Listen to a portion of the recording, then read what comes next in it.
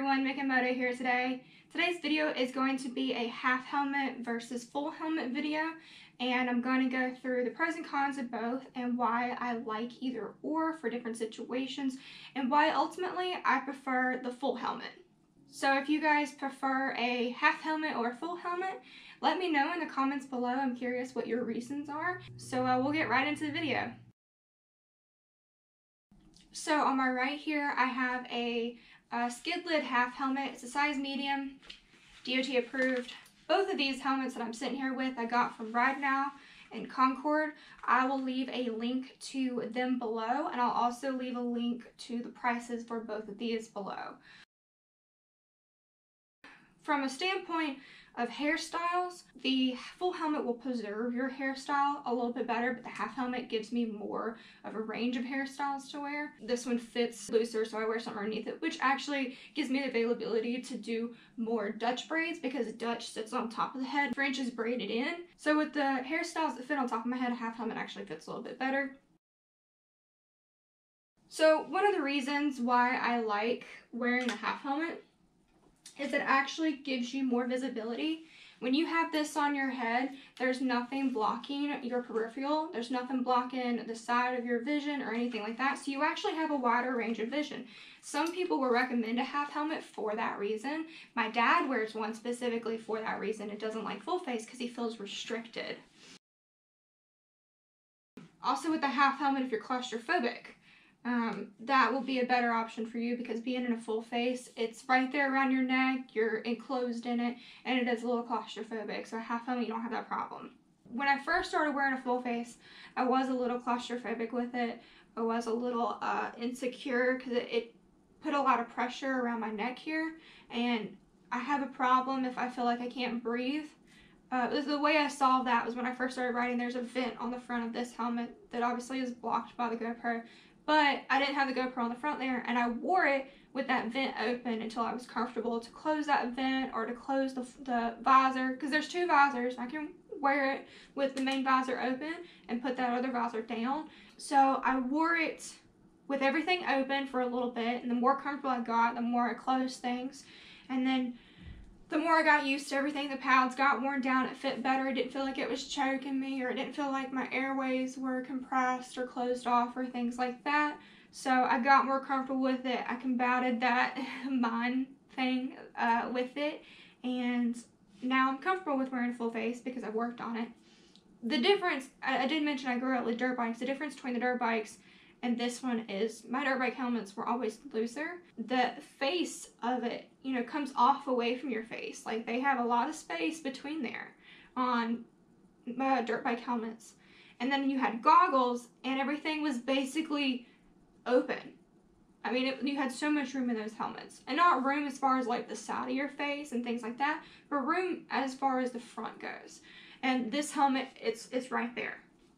Um, I didn't want a round helmet. I wanted one elongated for that reason, so it gave me a little bit more space.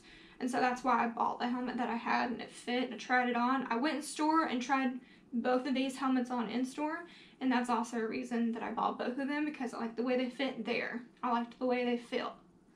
They felt. The other reason why I like a half helmet is because it gets hot. It gets super hot during the summer and you're dying with a full face on. And it's like, I mean, you have vents on these things. There's one behind the GoPro that I obviously can't open. There's one here on the top and they are, they also have a couple on the sides. So you can open those up, but it's still not going to be anywhere near as cool as a half helmet. And so if you are in a warmer climate and you have heat problems where you're at, a half helmet is beneficial for that reason. The other thing with a half helmet is that since it's smaller, you can fit it in more saddlebags or you can uh, fit it in a backpack or a carry-on bag or something like that and it's easier to store it's easier for backup to take with you or something like that if you're going to have a passenger you can store a half helmet in more places than you ever will be a full face the other thing is too um, something that most people may not think about is a half helmet is less likely to be stolen a full helmet everybody's like, oh my god, it's huge, it's more expensive. I have add ons on mine. They're like, let me snatch a half helmet where I'm at, unless I'm in Charlotte. I generally don't worry about it being taken. But on that same note, if I am worried about it being taken, it's easier to take inside with me. It's easier if I sit down at a restaurant to put it in another seat or on a ledge or in my seat or in my lap or something like that. It's just less space. And so that's uh, an advantage there. They do have half helmets that you have a visor flip down. I don't like the look of it, but when it comes to sunglasses and things like that, they have uh, different options and ways to go around either wearing eye protection or for people who wear prescription glasses and they don't tint. Um, they do have the flip down. I didn't get that, it's more expensive. Moving right along to the full helmet. The reason why I prefer this, I always prefer a full face over a half helmet. And that's just me personally. I grew up riding dirt bikes, so I always had full face. I didn't really have an option on dirt bikes. The full face, what I like about this is obviously I do have that pop down visor. And so with the pop down visor on this, I don't have to wear eye protection or I can wear my glasses. I actually haven't worn my glasses with that helmet, so I can't comment on that. However, I do have friends that do wear glasses and have full faces, and they can't wear their glasses with the brand of full face they have because it's too tight. I don't generally wear glasses on the motorcycle. I think it restricts my peripheral vision, so I don't wear my glasses because I can't see out the sides. But with the full helmet, it, it still comes around far enough on the side where you have most of your field of vision. It does restrict sometimes, but your head is always on a swivel on a motorcycle, and so for me, that's not a major problem. For this one in particular, it does have the open vents, and it does have this kind of vent uh, situation going on the back here. So for this particular helmet, I like that. Um, with a full face for me, riding, I have a chubby little chipmunk face. Um, and so with a full face, I feel like I look more manly and I feel like it kind of makes my chipmunk more obvious. And with the half helmet, I can hide that. The other thing with the half helmet is I am more undercover, more uh, covert, and people, uh, if I'm wearing gear, and you can't see, you know, feminine aspects, they don't generally know I'm a female, so I don't get a lot of controversy there. Uh, when I'm riding with other people until I stop and they're like, oh my gosh, that's a girl. Yeah, but you didn't judge me when I was on the bike because you couldn't tell I was a girl. The other thing, obviously, I can record, I can listen to music. The music situation with the half helmet, you can stick pods or speakers on your bike but, you know, everybody's going to be listening to the same music you are. If you don't care about that, you don't care how high up you turn it, it doesn't matter. Um, but you can do that. For me, it was just cheaper just to put a Sena unit on there, and then I have communication. I can call people. I can have a full blown conversation on the phone with a business person or an employer or a client, and they're not going to know because they can't hear the wind noise, and that Sena unit works quite well for that. Um, I had a friend who called me, and she was going down the road and I said, hey, I, I got directions going on in my helmet. Can I call you back? And she goes, in your helmet? What are you talking about? I said, I'm riding the bike. I have directions. Can I call you back? Oh my gosh, I can hear you. And like, I don't hear wind noise or anything like that. And you're so clear. How are you talking on a motorcycle? I got a boom mic in my helmet for the Sena unit. I got directions. Can I call you back? uh, so that's actually extremely handy the other thing that you don't really think about with a full face versus a half helmet is not only interstate riding, but just in general riding roads, bugs and grit and dirt and glass even, things like that. If I'm on a half helmet, those things are hitting my face. They're hitting my full on face and that hurts. That I mean, that's painful.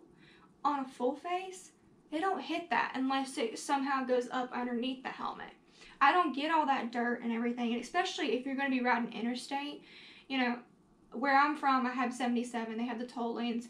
Motorcycles, if you didn't know, do ride free on North Carolina 77 uh, from Mooresville um, past wherever the toll lane is, or where it ends past Charlotte. Motorcycles do ride free, and so we will take that toll lane. That toll lane is always full of debris that gets pushed off to the side of the road. That most of the cars are going in the normal lane. So both sides of the toll lane have debris everywhere. And so when you're riding down that road and you get something thrown up by somebody else's tires or the bike in front of you, that's painful. You get home and you have little spots or you have blood spots or things like that. And literally, for a safety standpoint, the full face is the better option for that because I did ride I do ride half helmet on the interstate and I did it on Thanksgiving Day and it was brutal. And I didn't record because I didn't bring my GoPro with me but it was terrible. And riding behind another bike my dad has an Electra Glide in particular and that bike throws up so much dirt in my face if I ride behind him I won't ride with a half helmet behind my dad because it's just unbearable or just I mean behind any bigger bike. I haven't ridden behind a crotch rocket with a half helmet, so I couldn't tell you that much. Um, but with a with a bigger bike, with an Electra Glide or any Harley in front of you, a half helmet is is just gonna get so much stuff in your face. Uh, the other thing on an interstate ride is your head is being your high speeds. Your head is being pushed back. All that wind gets caught like right here and it just pushes your head back, which hurts your neck eventually, and it's highly uncomfortable. And then with the half helmet, it only goes here, so I can't just like notch my neck down and ride because the half helmet doesn't come up. With the full face, it goes all the way down here, and I have a collar on my jacket or even my shoulders. If I get tired of holding my head up, I just pull my shoulders up and just ride with my head resting right there and it doesn't hurt my neck. It allows me to relax my neck. And so that's also why, woo, that's also why I prefer the full face on the interstate because of the wind difference. It's more aerodynamic. You can notch down behind your handlebars and just ride smoother. And so that's also something to think about. The other thing, makeup. Makeup. Makeup with the half helmet, short rides. You're not going to have an issue with makeup. Long rides, you're going to have that wind, all that dust and dirt and everything flying past your face. When you get to your destination, your makeup has worn off. That's true. I did that over the summer on a two week long bike ride up to Canada. Um, you'd start out the day with concealer and you get to the end of the day and you got kind of bare skin showing through because the the layer of makeup that you've put on is now dwindled down to basically nothing. With a full face, you can preserve your makeup. However, what you want to think about is your cheek pads. I do my eyebrows. So if I take my cheek pads off, they go right over my eyebrows right there when I take my helmet off. When that happens, then I have brown marks, dark brown marks on my cheek pads. So when I stick it back on, now I have brown marks on my cheek pads. So to combat that, what I do is I do my eyebrows and I spray them with hairspray to set them. it's hair. I gotta seal that somehow.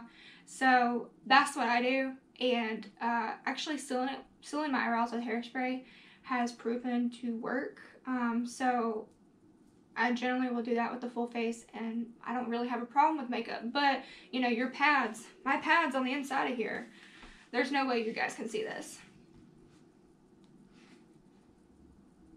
I don't know. But my pads on the inside of here are brown from my makeup. So that is something else to think about. You can buy different pads. You can figure out a way to wash your pads and, you know, keep doing that. And when you wear a full face, you do have to clean that visor a lot. You'll have bugs everywhere. The good thing about this visor in particular, and the thing, if you buy a full face, what you want to keep in mind is can you switch out the visor that you actually have on the outside? So this one in particular, um, by the way, you see this little button thing down here? I hate it. Get a full face where you don't have to half break it to open. Um, but with these things, you see these little levers here on the side and things like that. You can replace or take off this helmet, just pop it off and things like that. I'm not going to because I can't get it back on. You can do things like that. On a side note, I ride a Harley. So if you ride a Harley, one thing you need to keep in mind about a full face is there are screws that are here and here on this. Right there and right there. That particular screw in my helmet doesn't look like the rest of them. It's because it was loose when I bought the helmet, didn't know that, wore it, and it rattled out. So, brand of helmet and the add-ons and the features are highly important, but for an overall um, review, I will always prefer a full face because it is more comfortable. In my opinion, it's more safer. You have a little debate on that. Uh, visual and uh, protection. As a biker, you always need to think about the what if and the what could happen. So we get on that motorcycle every day and we assume the risk. We know the risk we're taking. The same thing goes with AGAT, all gear all the time, things like that. You know what you're getting yourself into when you get on that bike. You assume that responsibility and you take that risk. And that's on you. Every biker's different. Every biker has a different opinion. Your skill level may not be what kills you. What kills you may be everybody else around you. You can be the best biker in the world and you might still find yourself in a situation that you cannot control. So it's important to think about that. I'm not going to harp on all gear all the time. I'm not one of those people. I wear tank tops and t-shirts on my bike. I'll never wear shorts because I don't want to get burned and I have that, knock on wood, bad luck that I would. Uh, I generally don't wear Converses on a motorcycle. I generally wear over the ankle stuff because I've rolled my ankle. Um, and I'm just, I'm accident prone. So, knocking on wood over here, invisible wood.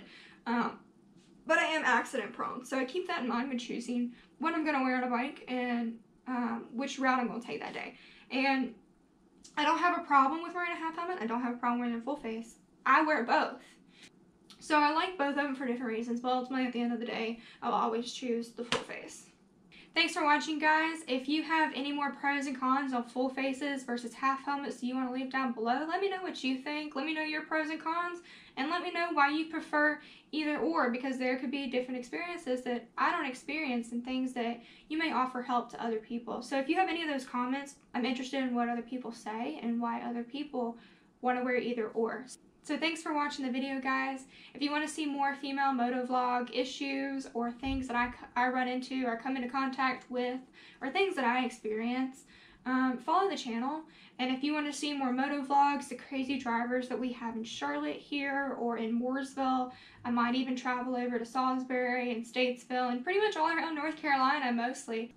I do take trips um, longer and out of state occasionally and things like that. So join the channel and follow my adventures. One thing to remember, life is just the adventure and it's all about the people.